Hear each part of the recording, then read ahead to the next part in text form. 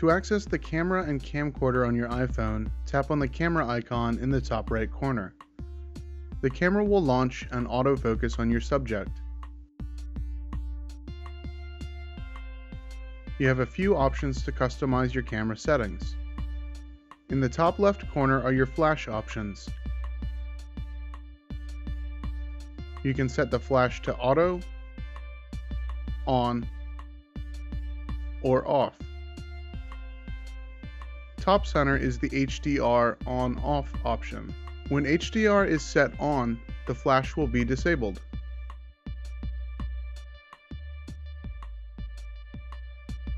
Here's an example of an HDR picture. Notice the sharp contrast between the light and dark areas of the photo. If you're taking a picture and need to zoom, tap on the subject you wish to focus. The camera will autofocus and you can control the zoom with the slider along the bottom.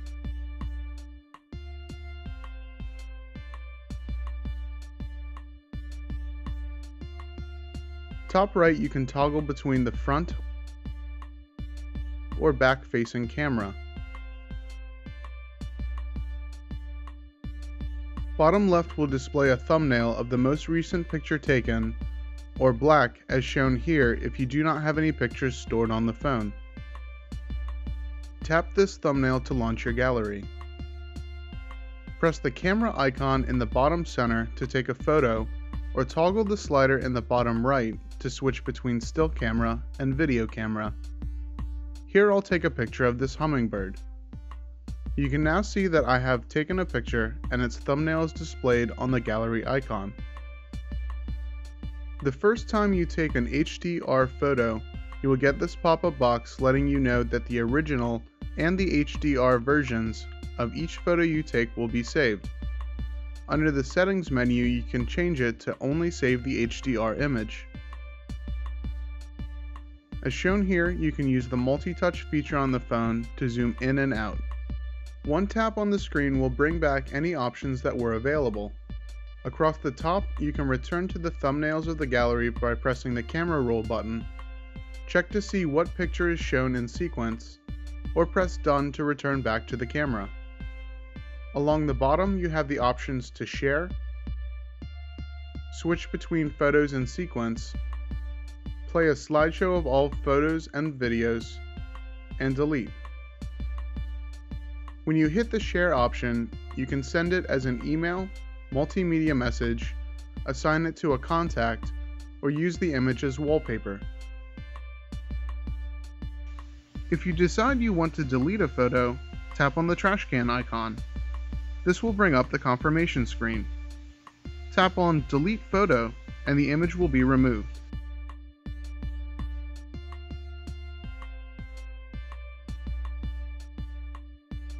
Switching to the video camera, you lose the options for HDR, but all other options remain the same. Tapping the red circle where the camera icon used to be will start recording, and while the device records, the red circle will flash.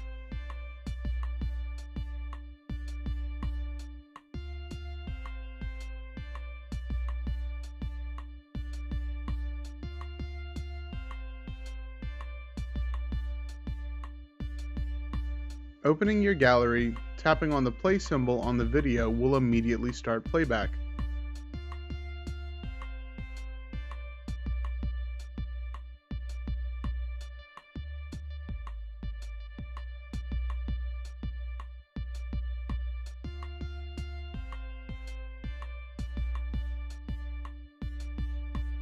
You can also send videos the same way as images. Here I'll show you how to send both. The first step is to select the share option that I showed you earlier. I'll be sending the image through a multimedia message. The new MMS screen pops up with the image already attached. Selecting a contact and entering a message here is just like sending a text message.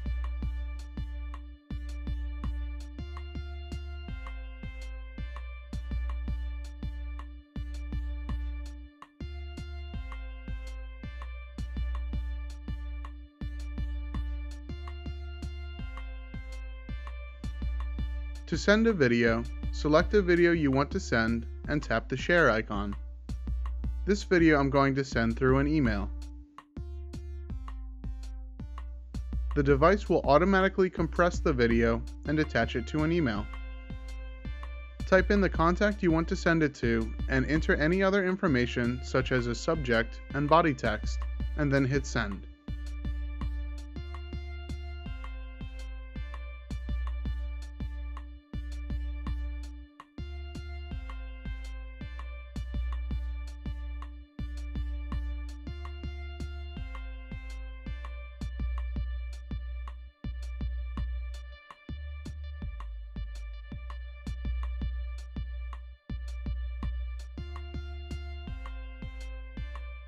On the device, you're able to take screenshots. To do this, press the home button and power button simultaneously.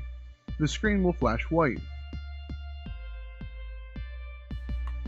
The image will be saved in your gallery under camera roll.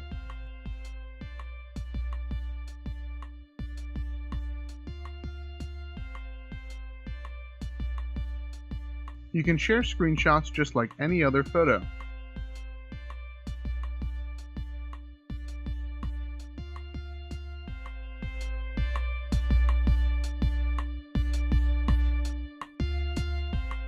With the device you are able to import your music library and use it like an MP3 player. There are two ways to access iTunes. Out of the box in the Utilities folder, there is a direct link to iTunes.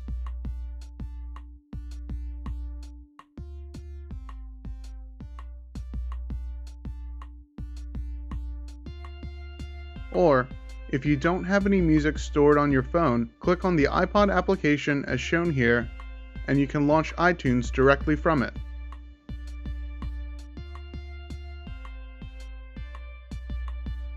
Across the bottom you can switch between music, videos, ping, search, and more.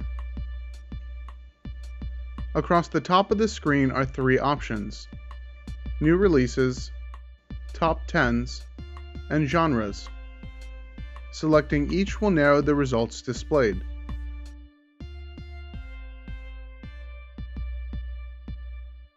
These will change depending on the category you have selected.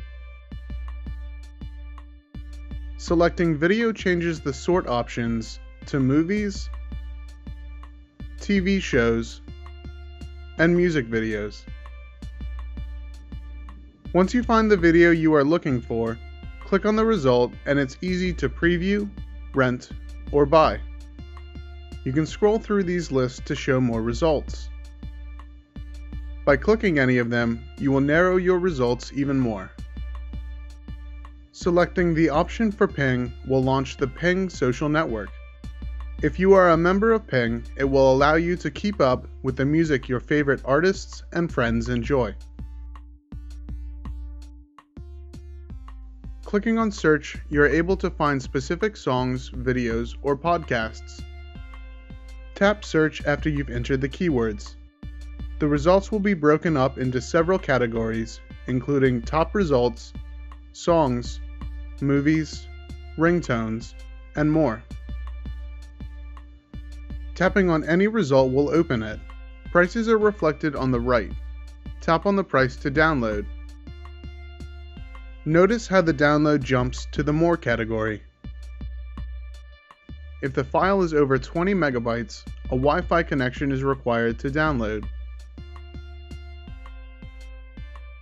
Under the More category, you have several categories for files on the device, such as ringtones, podcasts, and audiobooks. When a file is downloading, there will also be a download option, as shown here. In here you can track the status of your download.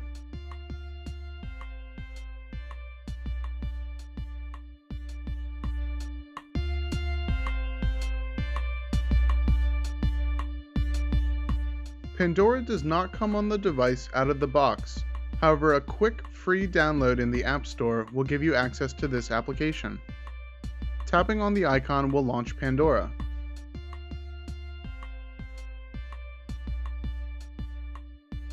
The first time you open the program, this screen will be displayed, allowing you to sign into a Pandora account or create a new one. Once you have signed in, the player will automatically start the station you were listening to most recently. To create a new station or switch between your stations, click on the back arrow in the top left corner. Here, all of your stations will be listed and you can sort them by date added or alphabetically.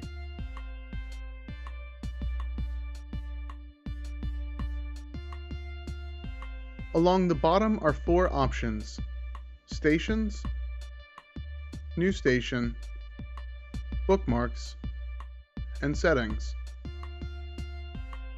To add a new station, click on the New Station option and type in the name of the artist, song, or composer you wish to create a station around. Here I'm creating a Mozart station.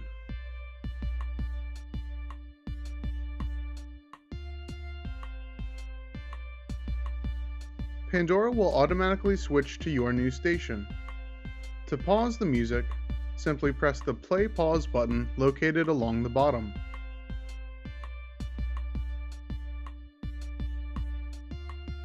To skip to the next song, press the next button.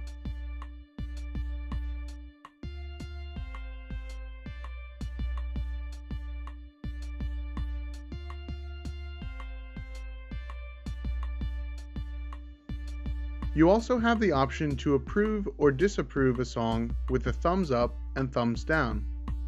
Clicking thumbs up will register that you like the song and Pandora will try its best to play similar songs. If you hear a song you like, you also have the options to bookmark the song or artist, buy it from iTunes, or share the station via email. If you dislike a song, you have the ability to give it a thumbs down, and Pandora will automatically play another song. Songs that you thumbs down will also not be played again on this station. Pressing this icon in the top right corner will display information about the artist and song.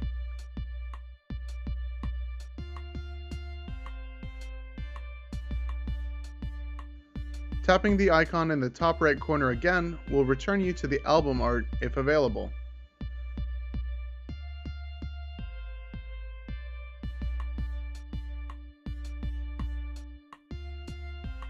You can find songs you bookmarked by accessing the Stations page and selecting Bookmarks from the bottom.